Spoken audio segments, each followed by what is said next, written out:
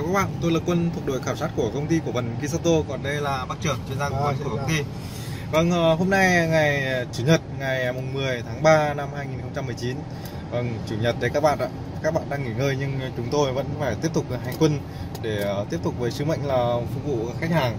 Vâng, hôm nay chuyến ờ, cộng, chuyến khảo sát đầu tiên chúng tôi sẽ là về ờ, xã xã xã gì bác nhỉ quên mất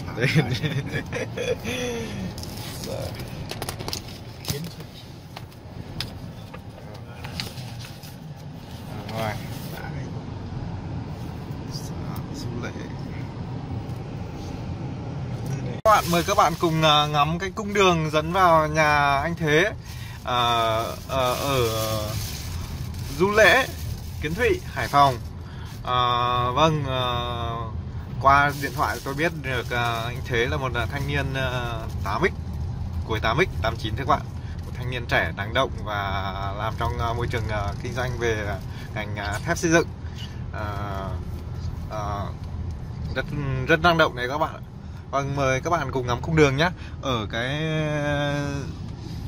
xã Du lế này rất là rất là tôi đi từ ngoài kia vào rất khá nhiều phong cách thiết kế nhà kiểu mái thái tân cổ điển thưa các bạn. Một vùng đất ừ, ruộng rất là nhiều nhưng mà lại có rất nhiều đại gia.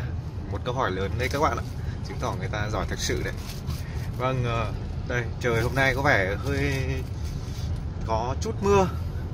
Nhưng mà chúng tôi vẫn, với tinh thần là khách hàng là thượng đế, chúng tôi vẫn mải miết vẫn tiếp tục phục vụ cho khách hàng vâng ờ, mời các bạn cùng tiếp tục theo dõi video tiếp theo là khảo sát hiện trạng và bay flycam trên cao để ờ, ngắm các khung khung nhìn từ mảnh đất của nhà anh thế. Chào các bạn.